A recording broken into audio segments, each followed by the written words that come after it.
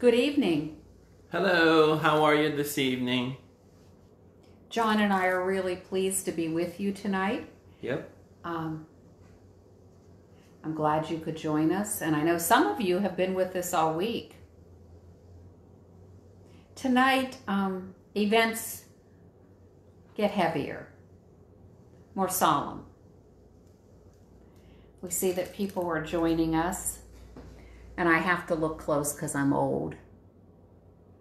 Christine Orris Miller's with us, Debbie Cease, Sue Steger, Rebecca Hill. Oh,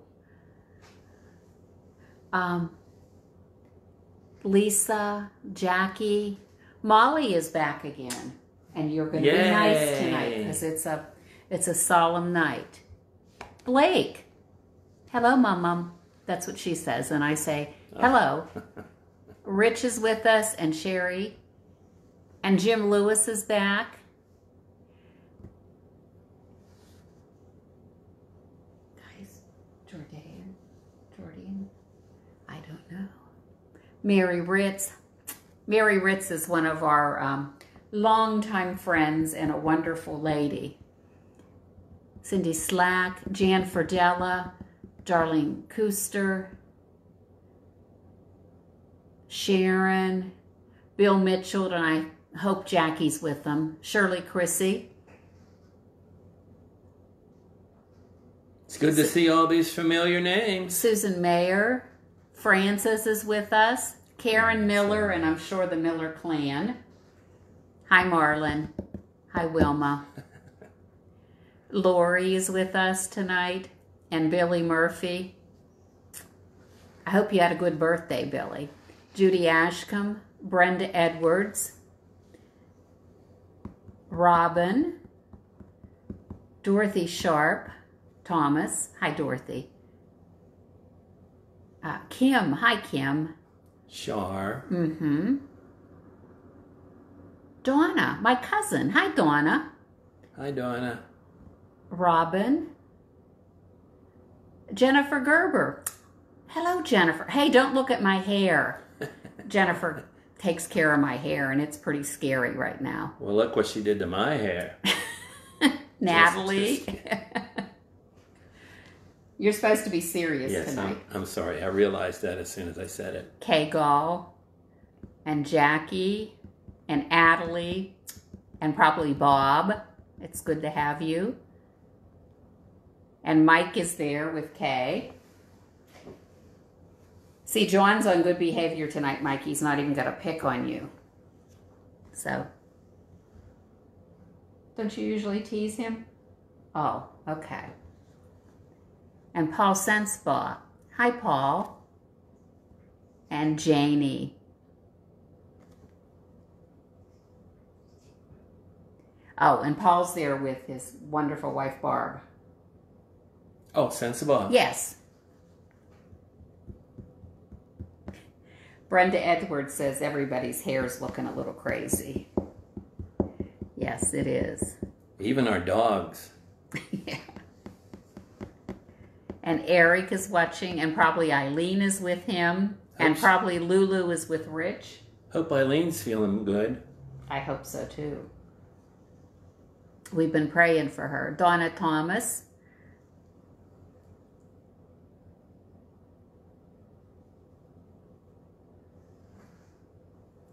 It was another rainy day today. I don't know if anybody noticed that or not. That makes for beautiful flowers in a few weeks. and growing grass. Celeste. Oh, Celeste Eileen and Stuver is watching. Yes. Hey, Celeste, I hope you're doing okay. And if I miss saying your name, it's because my eyesight is like lousy and we're doing this from the phone and the phone is across the kitchen counter, so it's three feet away. And that's why I'm leaning forward. Where are you ready? Oh, I want to tell you tomorrow night we'll be here at seven o'clock. And tomorrow night we're we're not doing any kind of greeting. It's um, Good Friday, and we're going to move directly. We'll start uh, have it turned on before seven, a few minutes before seven, and we'll be starting a, a few minutes after 7. So please join us tomorrow night, but there won't be any uh, talking or anything like that. Do you, you want to say anything before we get started? I think we're ready. Well, or do you think we should go a little further? Give them a little more time. well, it's almost 5 after. Okay, go ahead then. Okay. I always listen to my husband. Tonight is a special night for tonight we gather to commemorate the Lord's Supper and to hear his call for us to love and to serve in his name. And this is really a strange Maundy Thursday because we always have communion on Maundy Thursday, but tonight there is no communion. Well, there is no holy communion, but we are definitely communing.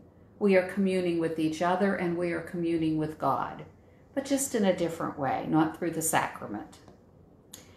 Tonight we're going to reflect on what it means to be Christ representative in the world and how to serve Christ as Christ served, how to serve Christ by serving others. So, welcome, welcome to our home and welcome to the service.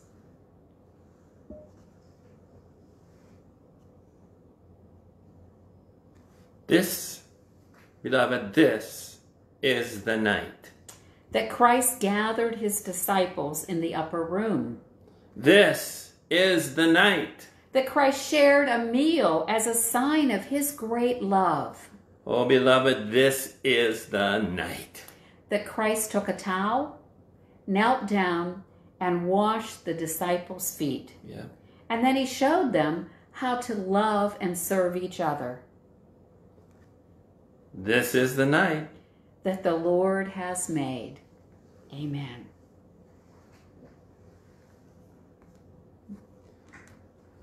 Will you pray with me?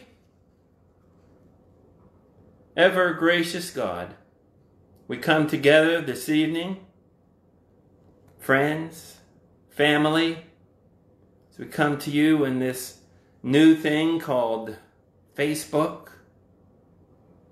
We gather as Jesus did in, in, in a room so long ago.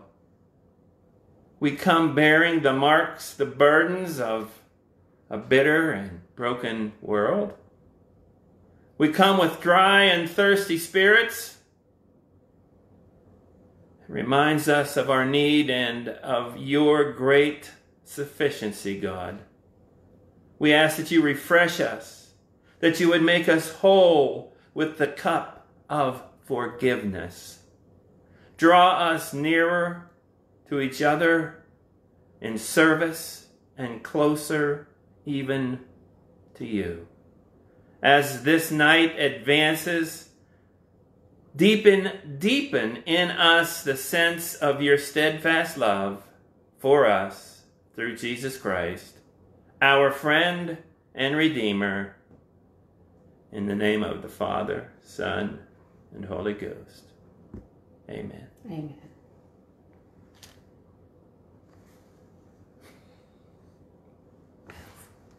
Oh, You're not going to be looking at John and I all night. We're doing something different tonight. And you are invited to the upper room. You're invited to be with Jesus and his friends and to be part of the story. So, hear the story once again with fresh ears. Before the festival of Passover, Jesus knew that his hour had come to depart from this world and to go to the Father. Having loved his own who were in the world, he loved them till the end. And during supper, Jesus, knowing that the Father had given all things into his hands, and that he had come from God and was going to God, he gets up from the table, takes off his outer robe, ties a towel around his waist, and pours water into a basin.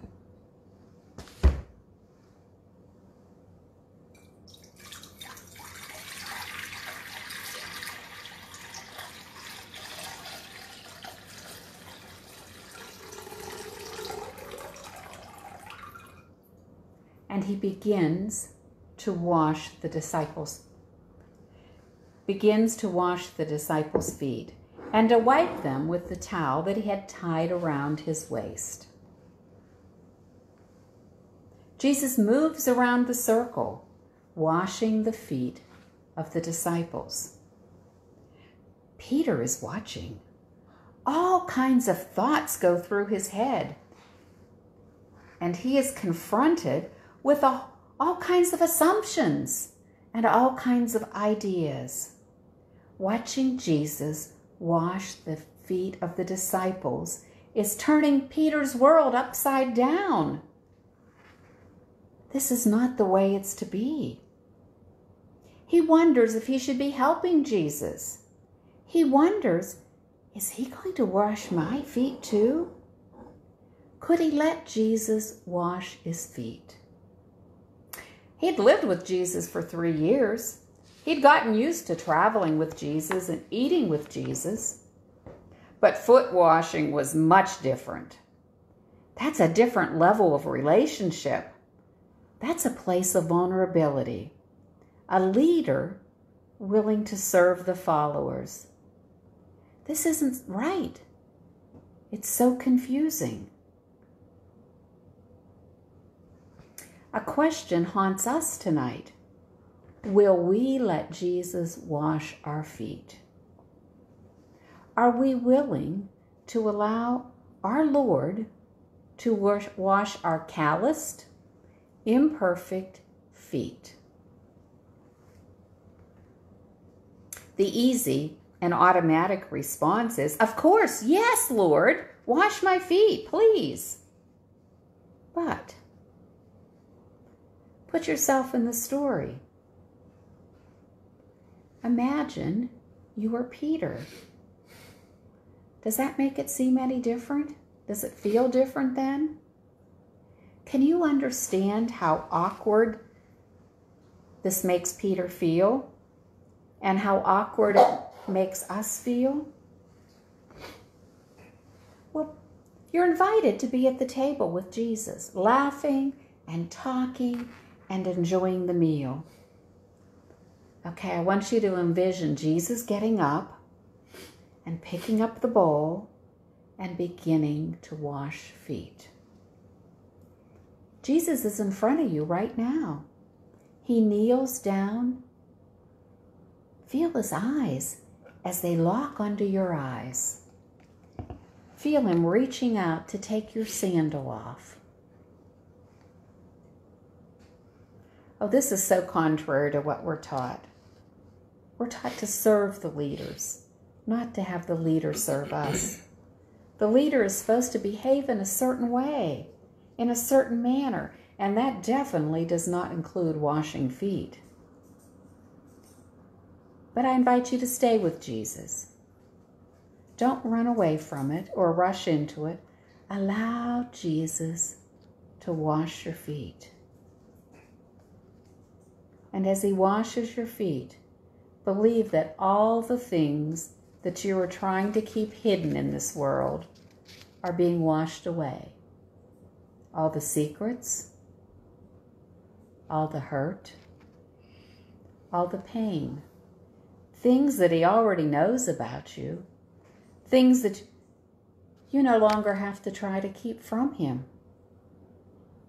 See how free you feel, how new, how strong.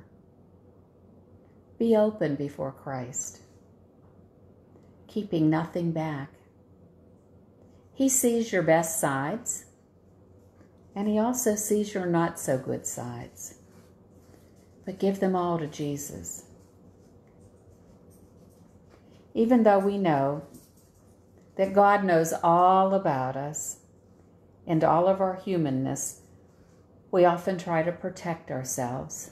And sometimes we even try to protect God from us. And so to get close, to allow Jesus to wash our feet, may seem scary. Is it scary or is it unsettling for you, the thought of the Master, the Savior, the Redeemer of the world washing your feet? Do you feel that you deserve this service?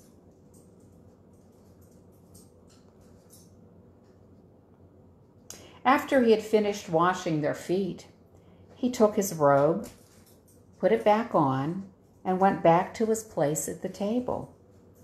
Then he said, Do you understand what I have done to you? You address me as teacher and master, and rightly so. That's what I am. So if I, the master and the teacher, washed your feet, now you must wash each other's feet. I've laid down a pattern for you. What I've done, you do. I'm only pointing out the obvious. A servant is not ranked above the master. An employee doesn't give orders to the employer. If you understand what I'm telling you, you act like it and you live a blessed life.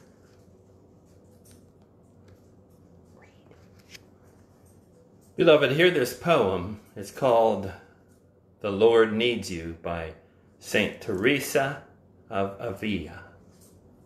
Hear these words Christ has no body but yours, no hands, no feet on earth but yours. Yours are the eyes with which he looks. Compassion on this world. Yours are the feet with which he walks to do good. Yours are the hands with which he blesses all the world. Yours are the hands. Yours are the feet. Yours are the eyes. Yours are his body. Christ has no body now but yours. No hands, no feet on earth but yours. Yours are the eyes with which he looks compassion on this world. Christ has no body now on earth but yours.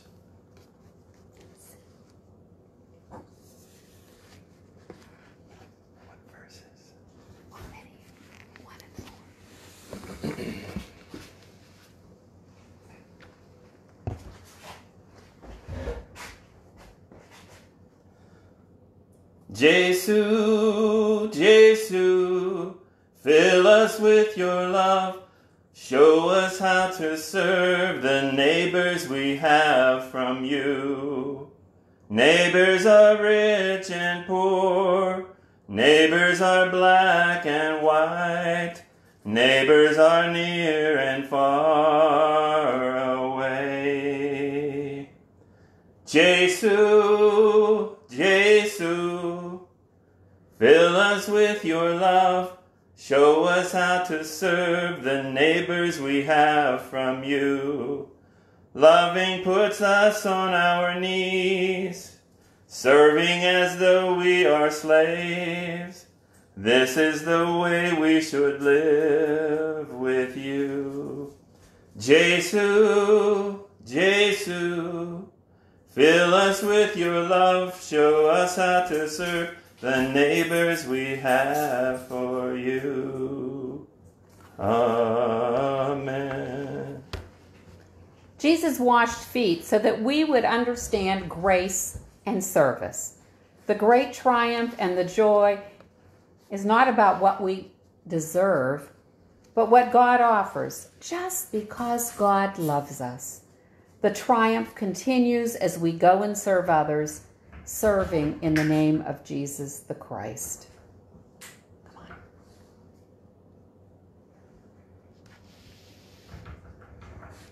Hear this prayer of confession.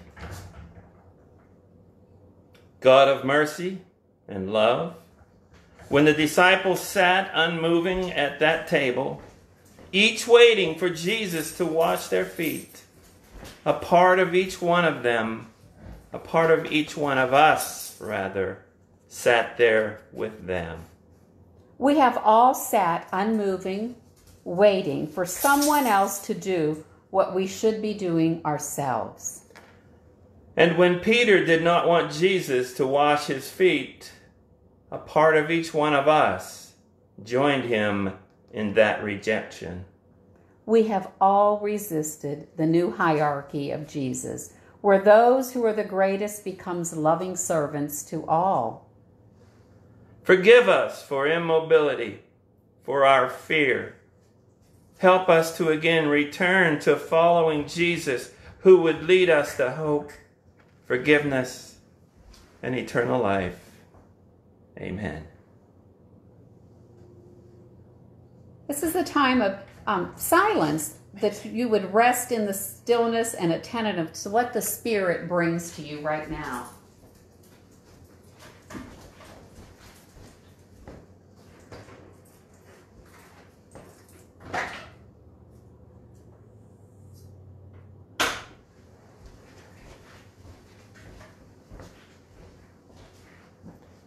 Open your hearts, receive grace, receive forgiveness, knowing that God loves you. Christ went to the cross because of his love for you. Christ has paid the price for your and my sins. Believe the good news. In the name of Jesus Christ, you are loved and you are forgiven. In the name of Jesus Christ, you are loved, you are forgiven. Glory to God. Amen. Amen.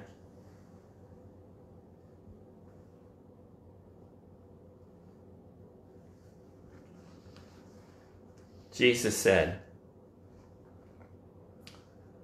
I give you a new commandment that you love one another, just as I have loved you you also should love one another. By this, everyone will know that you are my disciples if you have love for one another.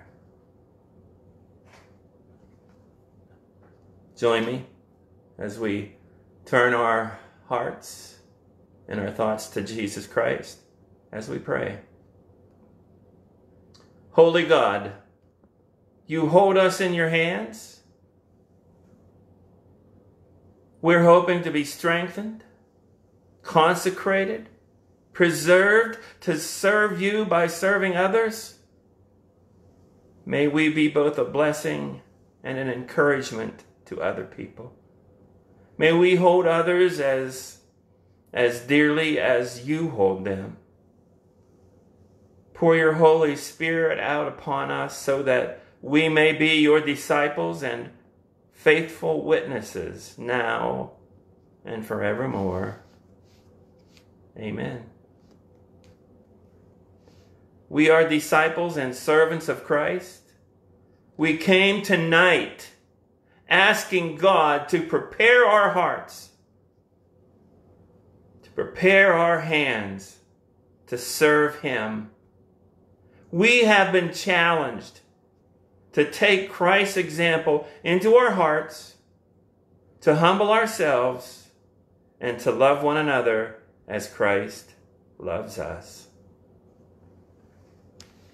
We came tonight asking for forgiveness, asking to be washed clean.